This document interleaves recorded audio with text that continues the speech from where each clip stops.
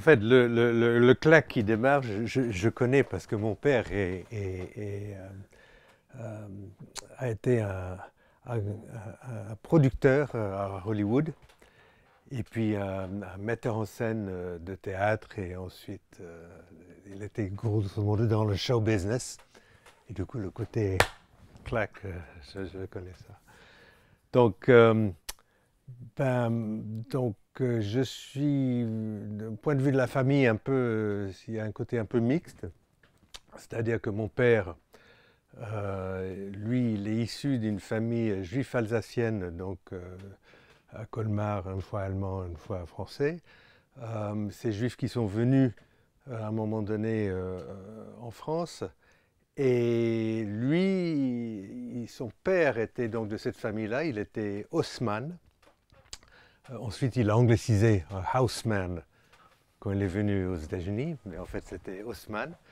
Et, euh, sa mère, en fait, c'était une fille du pays de Galles qui est venue en France et donc il s'est mis ensemble avec cet homme alsacien. Et du côté de ma mère, c'est encore plus compliqué puisque sa mère à elle est en fait issue d'un d'un type qui était euh, un, consul espagnol pour la Russie, euh, auprès de la, Russie tsariste, euh, qui s'est marié avec une Finlandaise. Et, ensuite, ils ont donc la mère de ma mère est issue de ce couple-là. Elle est venue en France à un moment donné en tant qu'apatride après la Révolution, puisque sa famille était soit emprisonnée, soit, soit zigouillée. Et, euh, et elle s'est mariée avec un, un Irlandais euh, américain euh, qui, s'appelle Courtenay. Donc c'est des Huguenots nés courts qui sont partis de la France pour aller en, Irlande et ensuite aux États-Unis à un moment donné. Ils habitaient dans le Nebraska. Et ils étaient, c'est une famille dont pour trois générations, les, hommes ont quitté leurs femmes euh, en prétextant euh, euh, qu'ils allaient au coin pour acheter du sirop tout pour l'enfant ou des cigarettes, comprenez, et puis ils sont plus revenus. Et donc cet homme-là, Ralph Courtney, était journaliste pour le Herald Tribune en Europe et il a rencontré donc cette fille de la patrie là. Ils sont mariés et ça a donné lieu à ma mère et elle avait une petite sœur qui allait naître et trois semaines avant la naissance, lui, il était pris avec euh, la, la, théosophie, l'anthroposophie de Rudolf Steiner, je ne me souviens pas laquelle, et puis il est parti aux États-Unis et il a laissé sa, femme. Donc tout ça, c'est bien mixte. Euh, et moi, donc, je suis né en Californie et puisque mon père était à la fois dans le cinéma et dans le théâtre, on a bougé à peu près tous les deux ans, euh, soit à New York pour le théâtre, soit en, Californie. Donc je suis né à Malibu, avec, euh, avec une, enfance extraordinaire sur la plage, euh, jusqu'à peut-être 10-11 ans. Et puis, j'étais envoyé en pensionnat en France j'avais mes deux grands-mères qui habitaient à Paris à l'époque, euh, mais là c'était euh, bon parti euh, parce que avec mon, jeune frère on, faisait beaucoup de bêtises et j'étais un peu amené dans les, dans les, dans les bêtises, disaient, mes parents par, par, par, lui. et puis pour que j'ai un peu de culture, euh, et pour que je puisse renouer avec l'Europe, bon, euh, j'étais envoyé donc à 10 ans en pensionnat, euh, comme ça, euh, qui était une époque un peu malheureuse, mais bon, ça m'a appris le français. J'ai oublié l'anglais, et puis par la suite, j'ai oublié le français quand je suis revenu. Mais disons que ça, ça a quand même forgé une attache à la France. Et donc, lorsque, à la fin de, pas mal de scolarité où je bougeais beaucoup, et lorsque j'ai terminé l'université aux États-Unis, euh, l'endroit qui était, je voulais quitter les États-Unis et l'endroit logique pour moi, c'était donc euh, de, venir en France. Donc d'une certaine façon, en venant en France, je, je renoue, disons, avec euh, mes ascendances curieuses, mais qui étaient tous les deux, bien que ma mère soit née en, Londres, elle était élevée à Paris, et mon père était donc né en France, du coup je, je retrouve là. Mais, mais donc, après le high school, euh, qui était bon, dans diverses institutions plutôt de pensionnaires, je suis allé à Brandeis. Et euh, Brandeis, c'était l'université euh, juive, un peu la, réponse au Ivy League aux États-Unis. et moi, j'ai eu la chance, donc je suis rentré à Brandeis en 69. Donc j'ai eu la chance d'être vraiment la dernière génération euh, lorsqu'ils souhaitaient des personnes qui ne savaient pas exactement ce qu'ils voulaient. En fait, ils souhaitaient des étudiants qui, euh, un peu avec le Renaissance Man comme, idéal, étaient prêts à, explorer des éventualités. Et du coup, moi, je voulais faire philo. Euh, donc, parfait. Après, il y a eu the Student Strikes, il y a eu Kent State, il y a, eu beaucoup de trucs. Donc, en fait, j'ai passé une année plus ou moins euh, à ne pas. Bon, pas beaucoup de scolarité, mais bon, comme ça. Euh, mais disons que c'était, bon, euh, aussi, c'était une université, comme beaucoup d'universités aux États-Unis, qui était pour des gens suffisamment privilégiés pour pouvoir payer le, tuition où les gens, comme, beaucoup d'universités, le fait d'aller à l'université, ils quittent la maison pour la première fois. Moi, j'étais parti depuis la maison, de la maison depuis longtemps, mais on apprend à faire sa propre lessive, euh, on apprend la sexualité, euh, les drogues, euh, le boisson. Bon, à, l'époque, les, gens ne buvaient pas. on fumait beaucoup de, shit, mais, bon, on, ne buvait pas beaucoup. C'est des questions purement de génération. Et là, j'ai passé beaucoup de temps, c'est un liberal arts college, donc je faisais beaucoup de cours un peu différents, euh, mais j'étais assez attiré assez tôt par euh, ce, que, ce qui était appelé Judaic Studies, donc les études juives. Et c'était surtout le fait de certaines profs qui m'émerveillaient avec des commentaires. Euh, il y a Nahum Nahum Glatzer qui était un grand, un grand prof, Fishbane, il y avait, d'autres gens, mais j'ai suivi des cours en sociologie, euh, l'ethnologie, non, ça ne m'intéressait pas. Mais à la troisième année euh, de mon université, où il fallait commencer à penser, à la fin de la troisième année, à bon, est-ce que je veux aller faire de graduate school ou pas hein? Donc, j'ai abordé le Nahum Glatzer pour lui demander est-ce qu'il voulait bien me prendre euh, comme étudiant. Et là, il a dit Bon, je suis gêné parce que je vous aime beaucoup, euh, euh, mais là, j'ai donné des années, des années, des années à l'université. Maintenant, je veux le donner à la communauté. Euh, vous n'êtes pas juif, mon père était juif, mais ma mère non, et du coup, non, je ne vous prendrai pas en, thèse. Donc ça, c'était vraiment un coup un peu dur. Donc enragé, je suis retourné vers l'ethno. C'est-à-dire, en fait, je n'ai pas, pas pour faire du, pour le truc de graduate studies, mais j'ai consacré ma, la dernière année universitaire plutôt sur des cours d'ethno. Et là, il y avait des gens intéressants. Il y avait une femme qui s'appelle Joan Bamberger, qui travaillait euh, chez les Kayapo. Euh, c'était l'épouse de Terry Turner. Donc, ça, fait partie du, groupe de Maybury Lewis euh, dans Léger. il y avait Benson Saylor, qui était quelqu'un qui travaillait au Mexique, Margaret Robinson qui travaillait au Sri Lanka. Et en fait, je faisais des cours. J'ai fait une première cours avec le Margaret Robinson. J'ai fait un, un essai qu'elle a estimé était nul ça m'a tellement mis en rage que j'ai refait un essai à partir de cette propres écrits. Mais non, non, c'est très bien. Donc, j'ai fini mon université avec cette ouverture euh, sur la possibilité de, faire l'ethno. Alors là, l'exotisme a fond la caisse. Euh, euh, j'ai passé des mois sur une sorte de, long papier très compliqué sur le, magie azandée et compagnie.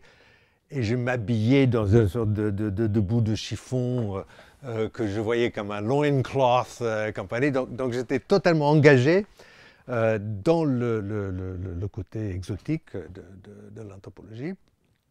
Avec toujours cette idée de l'Afrique, c'est ça qui me, qui, qui, me plaisait. et et à la fin de mon université, il y avait la possibilité de faire une formation de terrain en anthropologie en Savoie. C'était fait par l'Université de Maryland et j'ai écrit euh, en disant euh, je voudrais absolument en faire partie, voilà mon what I believe, bon, tout ça, comme ça.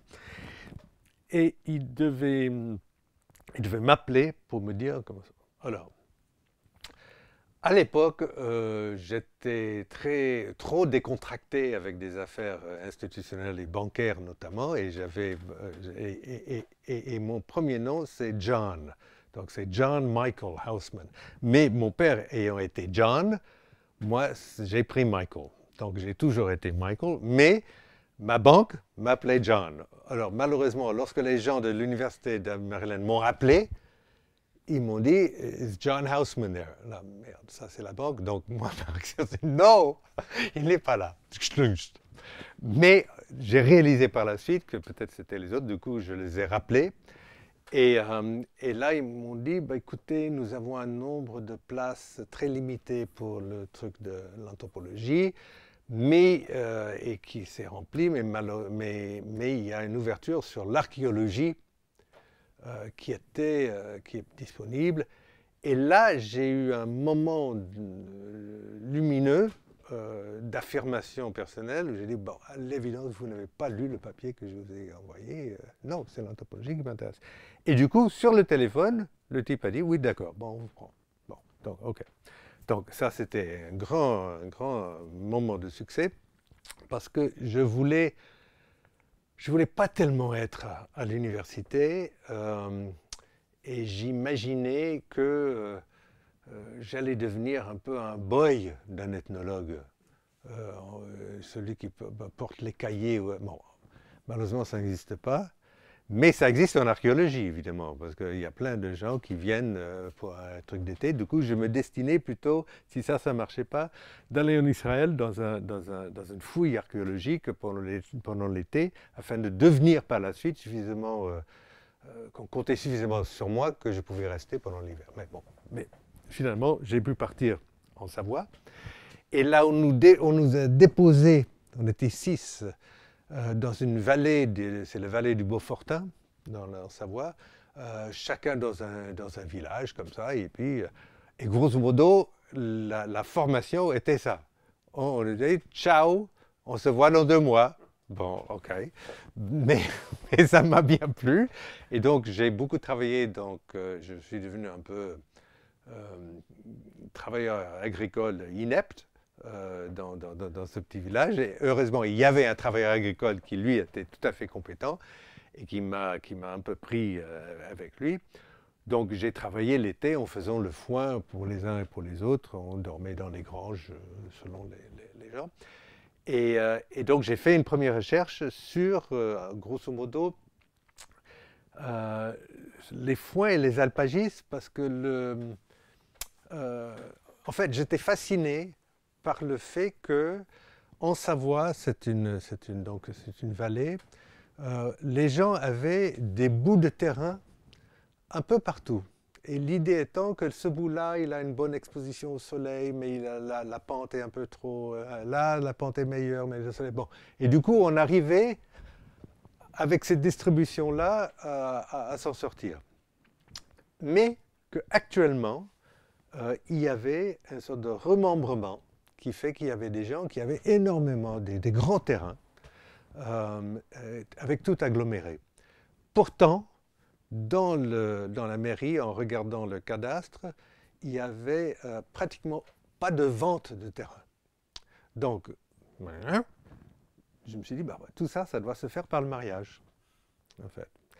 Et je crois que j'ai raison, mais j'ai jamais pu le démontrer parce qu'en fait, c'est terriblement compliqué.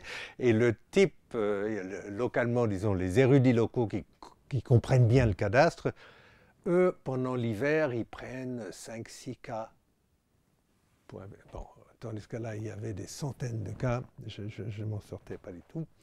Mais ce type de, de rêve m'est resté, et c'était la même chose pour la parenté par la suite, l'idée qu'on pouvait, à partir d'une multitude de, matériaux très disparates, euh, reconstituer une totalité qui évoluait en tant que telle.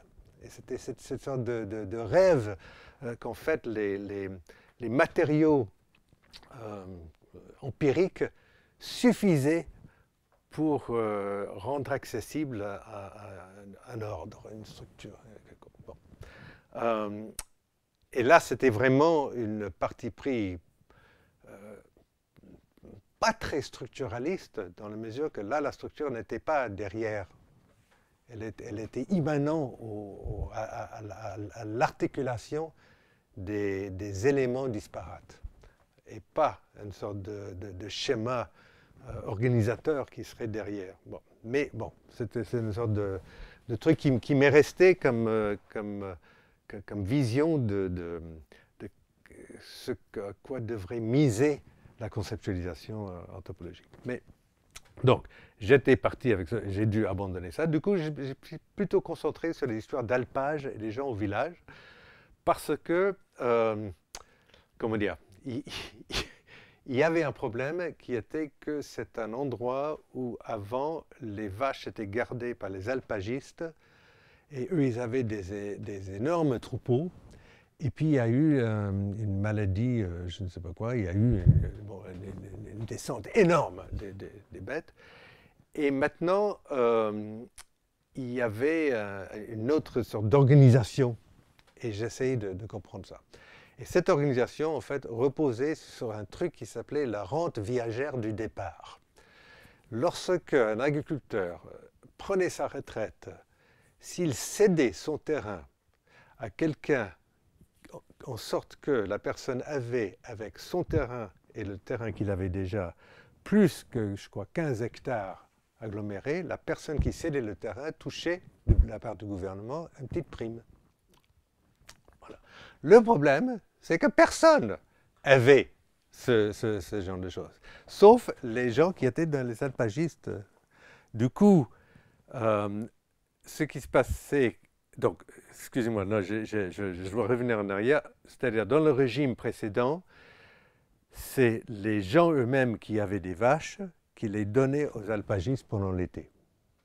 Mais maintenant, le régime était devenu que c'est plutôt les alpagistes qui avaient des centaines de vaches et que maintenant, ne savait pas très bien quoi faire avec en hiver. Et donc, ce qui se passait avec la, ronde vierge du départ, c'était que moi, je vous cédais mon terrain. Avec mon terrain cédé, moi, je touchais donc la rente viagère de départ. Je ne demandais rien, mais sur papier, je le cédais aux alpagistes qui lui avait avec mon terrain plus que 12, hectares, et que vous, vous acceptez de garder deux de ces vaches en hiver. Du il y avait une sorte d'arrangement euh, où tout le monde gagnait, sauf le gouvernement. Et du coup, j'ai travaillé un peu sur l'organisation de, ce truc-là. Mais j'ai beaucoup aimé, et j'ai beaucoup aimé mon temps dans Savoie, euh, avec euh, François Perrier, donc, qui était ce type qui était euh, un, des derniers travailleurs agricoles dans, le coin. Et, quand ça s'est terminé, je suis monté à Paris, où j'avais donc mes deux grands-mères, et là, l'idée de retourner aux États-Unis, vraiment, ça m'était désagréable.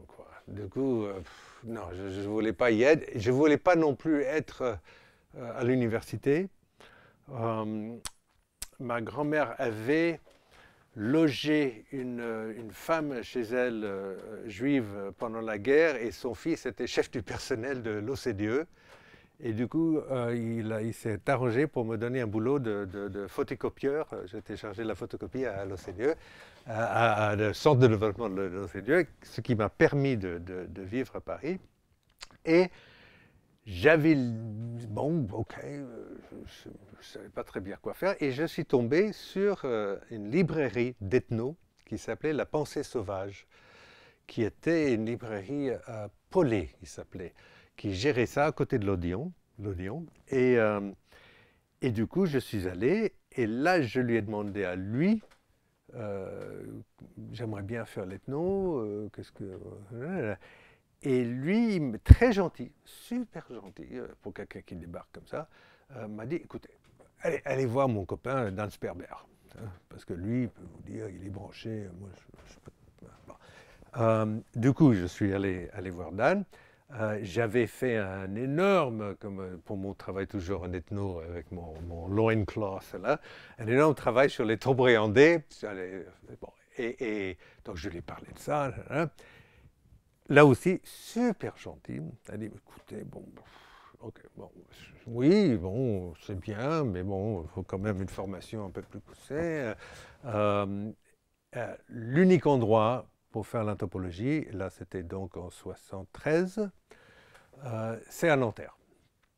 Et donc il faut, vous aller à Nanterre et vous allez voir. Donc je suis allé à Nanterre. Euh, et, là, j'ai suivi les, cours euh, sans m'inscrire pendant une première année. Et euh, c'est à la fin de cette première année que il y avait une, secrétaire, Florence, je ne me souviens pas de son nom, elle est partie en Israël depuis, qui, qui m'a inscrit rétroactivement, comme si j'étais inscrit une année avant. Et, donc là, j'ai commencé ma, formation euh, en ethno à Nanterre. Et, euh, et moi, je, je, me destinais plutôt en Afrique de l'Est. J'aimais bien les grands types là, très longs, avec les vaches, des trucs comme ça. Ça, c'est super. Non, non, non, non, j'étais en plein, en plein exotisme et, et, et, c'est vrai que j'avais une sorte de, de, sentiment de de, chaleur et de proximité et, et, sorte de, je sais pas, d'intimité partagée euh, que j'associais euh, avec la peau noire et que j'associais à l'Afrique et du coup euh, je me destinais à ça. c'était pas... Mais malheureusement, je suis tombé sur un prof, Louis Maillard, Mallard, un catalan qui a été, qui a été prêtre au Cameroun, dans le sud Cameroun, dans la région forestière du Cameroun, et qui, euh, euh, et qui là était, avait quitté l'Église, il s'est marié, il a eu plusieurs enfants, et il est devenu ethnologue à l'EPHE, et il enseignait à Nanterre. Et lui, ça faisait, donc je prenais ses cours euh, avec lui, et ça faisait dix ans qu'il n'était pas retourné au Cameroun. Et il a proposé, encore un acte de générosité invraisemblable, à son cours, euh, qui veut m'accompagner cet été, moi j'y vais trois mois, euh, vous pouvez venir. Et on était quand même six à dire oui. Et du coup, euh, bon, les autres, si, il y a quelqu'un qui a continué, Philippe Lourdou, qui a fait de l'anthropologie un peu cinématographique à Nanterre, pas en ethno, mais en cinéma mais les autres ont laissé tomber après, mais moi j'ai continué. Mais en gros, ça m'a orienté vers euh, une Afrique euh, totalement différente. Donc là, c'était plutôt des petits types, hein, euh, mais j'ai beaucoup, beaucoup aimé. Et, du coup, j'ai passé cette première tout petit terrain de deux mois de découverte avec Louis dans le. bon, là aussi, il nous mettait chaque personne dans un village distancié de 30 km les uns des autres. et du coup, je suis parti sur la question de, l'Afrique, plutôt en Afrique centrale, forêt. Quoi. Et, là, à un moment donné, donc ça c'était plutôt maîtrise, et là, j'ai fait une, donc à la fin de cette année, j'ai fait une maîtrise sur une rite d'initiation.